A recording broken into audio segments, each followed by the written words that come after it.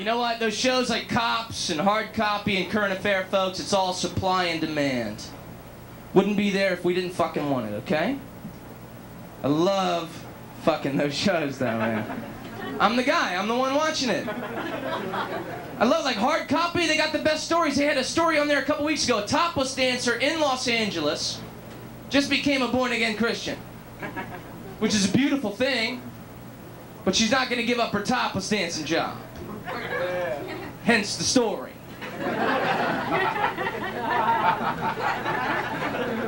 But they didn't say whether or not she would ever incorporate the two. Which I think would be a beautiful thing, you know, because, you know, you are supposed to reach people in hard to reach places, you understand?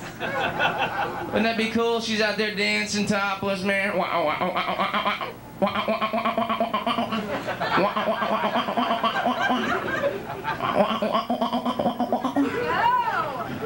Do you know that the Lord loved the world so much he gave his only begotten son? Hmm? You know that, huh? You know that Jesus loves you, huh? Yes, he does. Now, why don't you put a little love right here for me, huh?